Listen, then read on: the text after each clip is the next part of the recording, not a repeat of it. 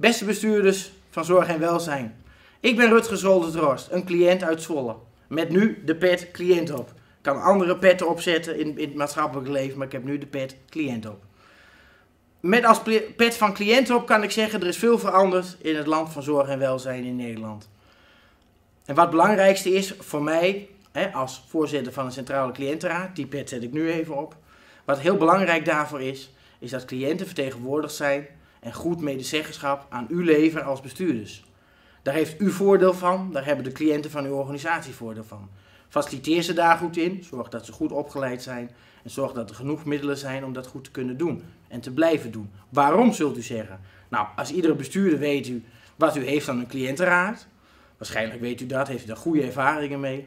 Als het niet zo is, dan moet u eens vragen aan bestuurders die er wel goede voor, eh, voorbeelden van hebben. Ik kan zeggen, in deze organisatie waar ik voorzitter ben van de Centrale Cliëntenraad, dat het er hele goede ervaringen zijn en dat wij als cliënten participeren in alle lagen van de, van de, van de organisatie.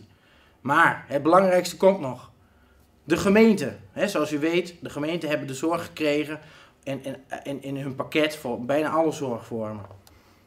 Zorg er nou voor, u als bestuurder, faciliteer uw cliëntenraadsleden, uw bewogen cliënten, om ook deel te nemen aan allerlei participatieraden.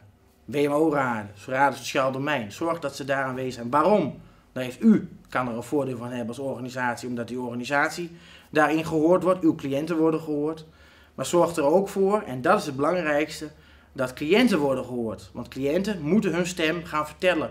In deze organisatie waarin iedereen op zijn eigen verantwoordelijkheid en zijn eigen kunnen wordt aangesproken, is het juist mooi dat cliënten voor zichzelf kunnen opkomen. Niet iedereen kan dat, maar dan is het juist mooi dat er enkele zijn die het wel kunnen.